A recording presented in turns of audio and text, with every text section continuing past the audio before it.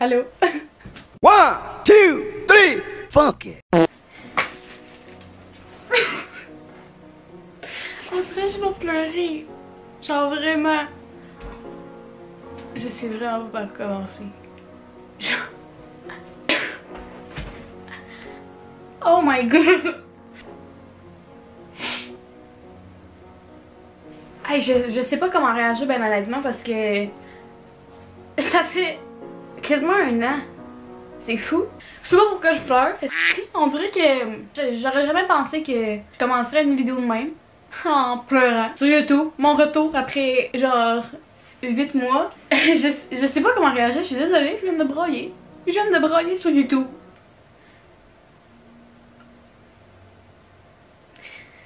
J'en ai mon voyage. Allô? oh my god, ok. Euh, ben, on risque d'endurer ma tronche de fait qui vient de broyer pendant toute la vidéo. Je suis vraiment désolée. Je sais vraiment pas pourquoi j'ai pleuré, ben honnêtement, parce que... Écoute, euh, c'est la vie. Qu'est-ce que tu veux que je te dise? Euh, ça a l'air que je suis bien trop émotive pour ça. On dirait que ça... Je sais pas. Euh, honnêtement, je sais plus parler. Je vais, je vais juste commencer ma vidéo, puis vous allez m'endurer avec ma face de broyarde. J'étais un cancer, qu'est-ce que tu veux que je te dise? Je suis une broyarde. Ok, c'est juste un petit blabla dans le fond pour vous dire que si vous aimez pas les vidéos euh, où je parle tout le long, euh, ben dans le fond c'est pas la vidéo pour vous aujourd'hui.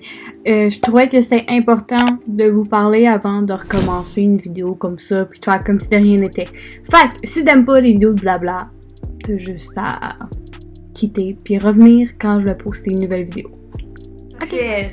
8 mois. Puis je vous dirais que s'en est passé des affaires en 8 mois.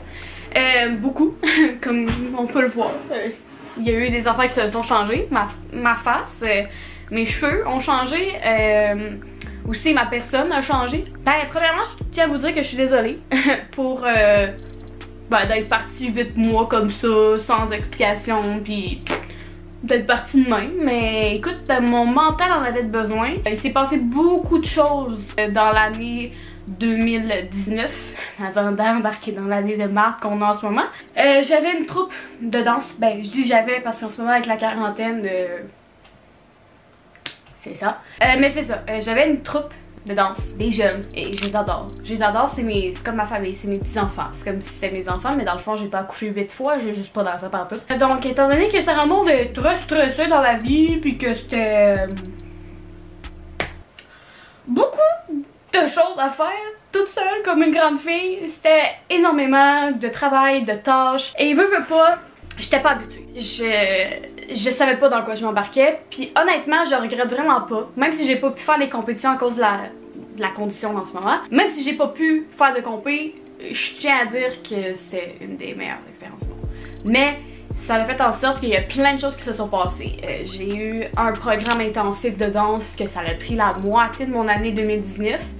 Euh, ouais. Ouais. En tout cas, j'ai eu un programme de danse assez intense, merci, qui a fait en sorte que je passais mes journées à la danse littéralement. Ça faisait que j'avais des journées de 12 heures de pratique de danse. J'avais, en plus de ça, que je coachais des 2 heures. Euh, C'était vraiment énorme. Ben honnêtement, je sais pas comment j'ai fait pour survivre à ça, mais j'ai fini par passer. Puis ça fait en sorte que... Ah oui, puis j'avais ma propre troupe dans laquelle je faisais partie, je dansais. Puis ça, c'était un autre temps de plus qui était dans ma semaine à moi.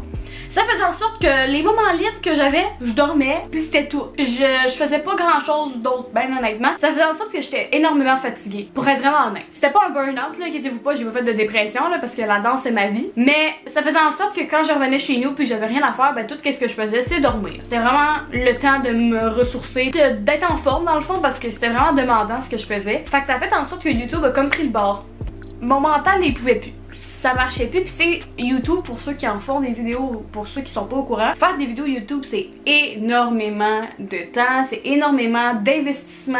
Euh, quand tu t'embarques dans YouTube, tu t'embarques vraiment dans une grosse aventure qui demande énormément. Et montage, moi, ça me prenait des journées, des 12 heures que je passais au complet. Et dans ce temps-là, j'avais pas 12 heures de libre dans ma vie, j'en avais une heure et c'était à minuit, une heure et demie du matin le soir pour aller dormir. Fait que c'était tout. Donc c'est ça, j'avais plus un mode de vie assez normal, comme je peux dire, pour justement faire des vidéos YouTube. Là, la quarantaine est arrivée. Merci bon Dieu, euh, parce que honnêtement, j'en avais vraiment besoin. Puis c'est quoi j'allais dire? Mais c'est ça, euh, ce que j'allais dire. Oui, non, Non, je dis oui, mais dans le fond, je sais vraiment pas de où est-ce que je t'ai rendu. Ok, c'est vraiment une espèce de blanc de mémoire, vraiment. Dans le ce que je disais, c'est que la quarantaine me fait énormément de bien. Parce que je m'étais embarquée dans trop de choses, ben honnêtement. Fait que ça fait en sorte que YouTube aurait comme fait déborder le vase. Puis je dis pas que YouTube est pas important parce que pour moi, ça permet vraiment de comme comment je pourrais dire ça, de m'exprimer parce que j'adore faire ça. J'adore, c'est ça que je veux faire dans la vie.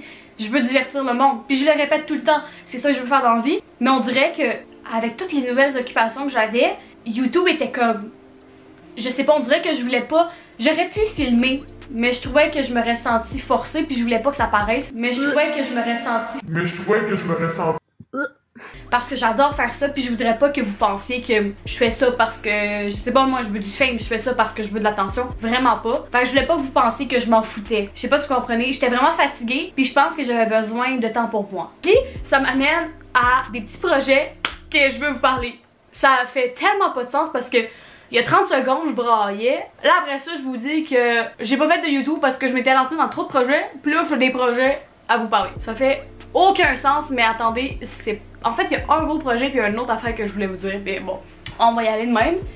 Oh my god, attendez, je vais rater. Uh.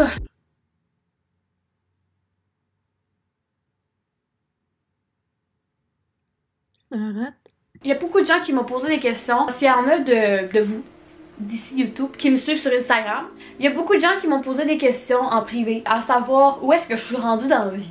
Comment ça va Sarah Maud? Où est-ce que t'es? Qu'est-ce que tu fais? Pourquoi tu fais plus de vidéos sur YouTube? Je l'ai répondu à la première partie de la vidéo, mais là je vais vous répondre un peu où est-ce que je suis rendue dans Ça va m'amener aussi au projet que je vais vous parler. En fait, moi j'ai fini mon prix universitaire en cinéma. J'allais à Lionel Gros à Sainte-Thérèse. Euh, c'est vraiment fun. J'ai vraiment appris plein de choses. Mais ça m'a fait comme... Comment je pourrais dire ça? ça m'a fait un peu peur, ben honnêtement, parce que j'ai peur du futur. J'ai peur de pas réussir. Genre, de plus en plus que je vieillis, de plus en plus que j'ai peur de l'échec. Même si je sais que je crois en moi puis que je pense que je peux me rendre, parce que c'est ça qu'il faut, j'ai peur quand même. Mais quand même, en arrière, la petite voix de Sarah Maud qui est comme, j'ai peur. Fait que, euh, pour être plus safe, j'ai décidé de rentrer à Bois de Boulogne en illustration et animation 3D. Ok, on va s'entendre que les métiers que je choisis dans la vie ne sont pas safe euh, pour deux scènes. Mais dans le fond, quand je dis plus safe, c'est que ça me fait un plan B des fois que ça marche pas. Je me suis mal exprimée, mais bon. Que je dessine depuis que je suis toute petite. Je fais des cartoons, je fais des dessins comme ça. Puis quand j'étais jeune, mettons quand j'avais 8 ans, je m'installais devant la télé puis je recopiais les dessins que je voyais à la télé. Euh, j'ai toujours dessiné, c'était une grande passion pour moi. Puis j'ai commencé tranquillement à redessiner. Puis je sais pas, c'est devenu quand même assez présent dans ma vie. Maintenant, je dessine tout le temps. Si vous voulez, je peux vous montrer un dessin que j'ai fait sur mon chandail. Attendez. Bon, wow, ok. C'est un pro... Je viens-tu d'écraser de quoi? Ok, non, peut-être, je sais pas. J'ai décidé de faire un lui là. Je me rappelle plus de son nom.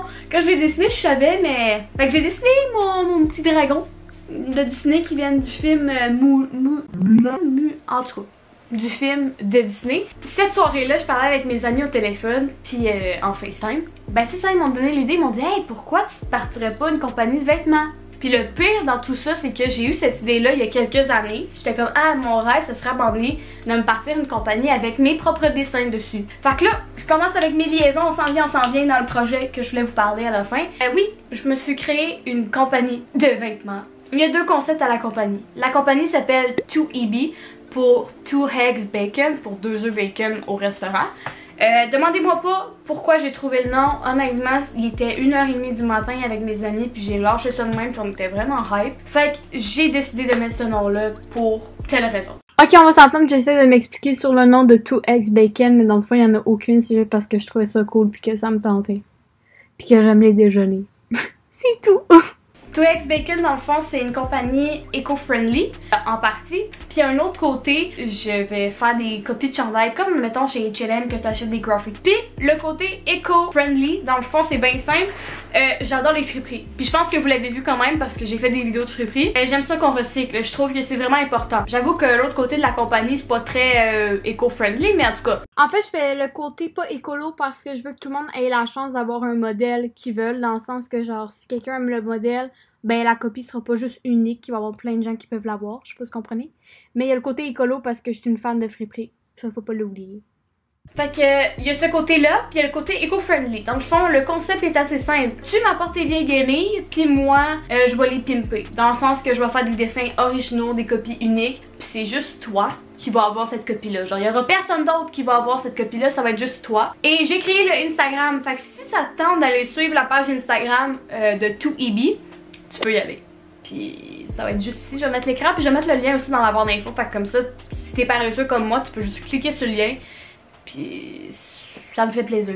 Je tiens à lever mon chapeau à ceux qui sont restés jusqu'ici à date dans la vidéo. Inquiète pas, c'est presque fini. Genre, il reste 30 secondes ou une minute de vidéo. Fait que merci aux Reels qui sont restés jusqu'ici. Euh, tu peux commenter. Euh...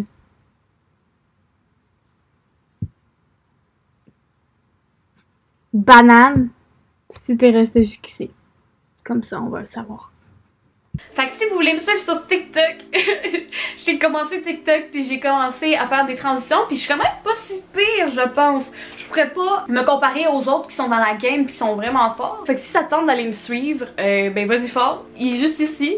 Puis ouais, c'est bon mal ça. Fait que merci énormément d'avoir pris de votre temps de regarder la vidéo. Je suis vraiment désolée encore d'être partie pendant toute cette période de temps. Puis on se revoit dans une prochaine vidéo. Salut!